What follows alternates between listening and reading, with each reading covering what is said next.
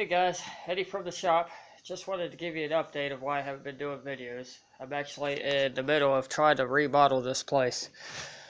Uh, it has been a mess for about a year and a half now, and I just really need to take some time to get it together. I've already gotten rid of a lot of junk, and I've decided where everything's going to go. We're going to make that my tool area, and put everything that isn't going to move is going to stay over there. Um, you know, we finally got a new refrigerator, microwave, stuff to make the shop a little more comfortable for when the customers come. So, this is about probably halfway through. I should have started when uh showed you where I started, but you get the idea. So, hang in there.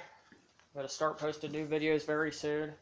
Again, if you guys have any questions or ideas of what needs to be done, let me know. Uh, talk to you later. Thanks for the support, and hope to see you soon. Thanks. Bye.